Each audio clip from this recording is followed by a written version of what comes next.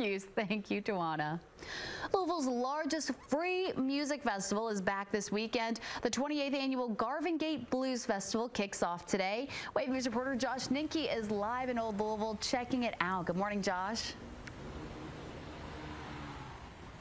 Good morning, Olivia. I've got one of the bands you can check out uh, at this great festival going on today and tomorrow. So I've got Rick Kane here and his group, uh, the Revelators, joining us. Uh, so you guys have uh, played in different capacities this music festival more than a few times, right? We've all come from different bands, yeah. Uh, we've all been lots of bands.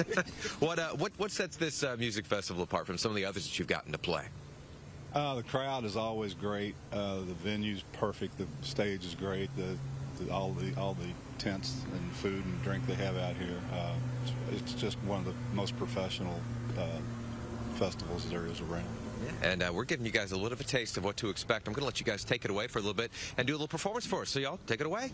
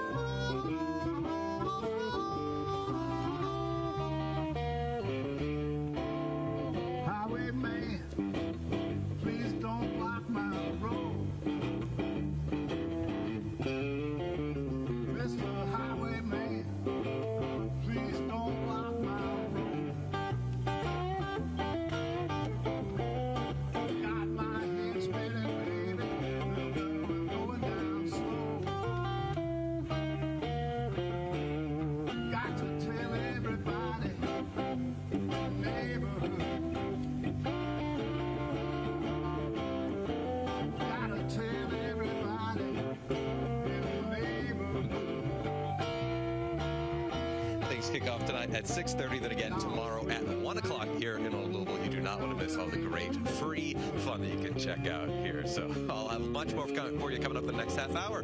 Live here in Old Louisville, Josh Ninke, Wave News. We'll have more right after the break.